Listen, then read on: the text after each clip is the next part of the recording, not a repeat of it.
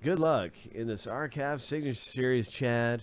Hope you pull something amazing, man. Ho. Ho.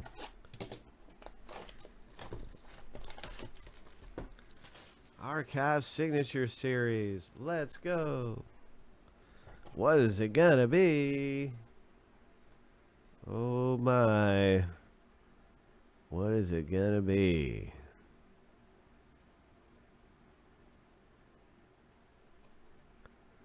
That's a future stars. Oh, this is really nice. Congratulations. That's a good hit right there. Three of nine. Andrew Vaughn is is a good rookie. Uh, this is an opening day card. Three of nine. Andrew Vaughn. He's got a lot of uh, a lot of hype around him, so he must be pretty good. Yeah, that's a pretty decent autograph hit. Congratulations with your future stars autograph of Andrew Vaughn.